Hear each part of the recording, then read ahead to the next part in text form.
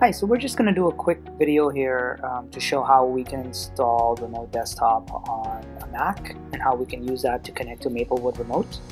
So to do that, we're just going to go ahead and open the App Store on your Mac. Um, just make sure you have login for your um, Apple ID and whatnot. So I'm assuming that you have that access going into this. So once you're in the App Store, you just go ahead and search for Microsoft Remote Desktop and you're going to see um, depending on the version of um, Mac OS that you're on, you might see a couple of different versions. The one we want to get is Microsoft Remote Desktop 10, and it's going to have a round icon like this, the red icon as you see. And uh, in your case, it might say Get, so you just want to hit Get and install the software. And once it's installed on your computer, um, you can go ahead and hit the applications icon. So at the bottom, if you hit the little rocket icon in your dock, um, it would uh, be called Launchpad. So if you click on that, you'll see all the different applications that are on your computer. And the one we want to open is Microsoft Remote Desktop. So once you are here, we're going to go ahead and just hit yes or not now, whatever you want. We request access to your microphone and camera. You can just hit um, allow if you want to. In this case, we don't need to allow camera access because we're not going to need to do that. Neither do we need to allow micro microphone access. So we'll just let that go and it's going to bring you to a window like this. Here you're going to go ahead and hit add PC and your PC name is going to be the hosting address that we're going to connect to Maplewood. So because you're on a Mac, you're going to use mac.hosting.maplewood.com and then you can add a user account and this will be your username. So in my case, my username is um, it's gonna be mwood. mwood is the server that we connect to, so we always put that. Then we go backslash. Um, make sure the slash is in the correct direction. So this is the backslash just above the return or the enter key on your keyboard.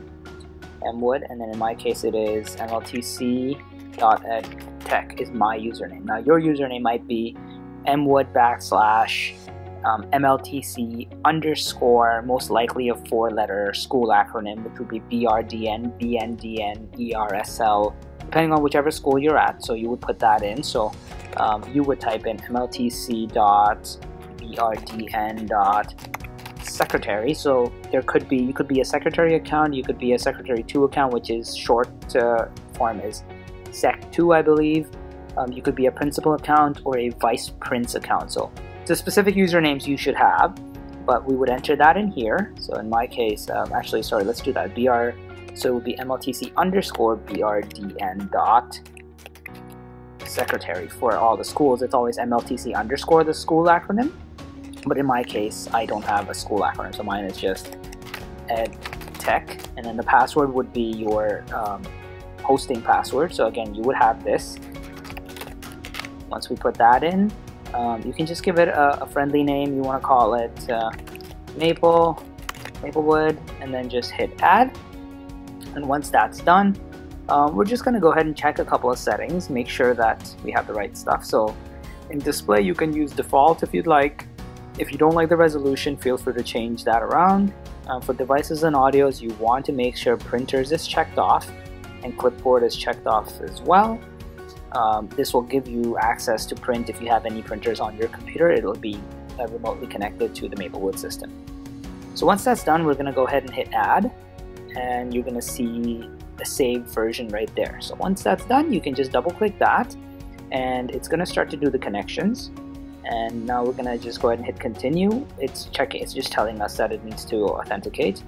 It might ask for the password if the password is not correct, or it is correct, it might still ask for it. So we're going to enter that in there and then hit continue and continue.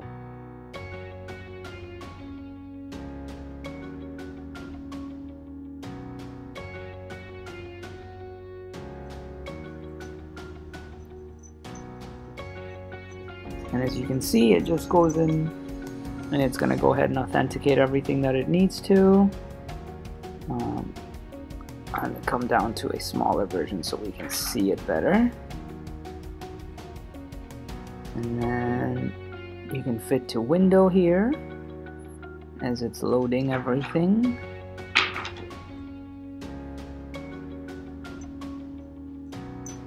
And on first setup, it usually takes a little bit longer, but once you're usually using it a few times, you should be good to go. So that's usually how you will access on a new computer um, from a Mac.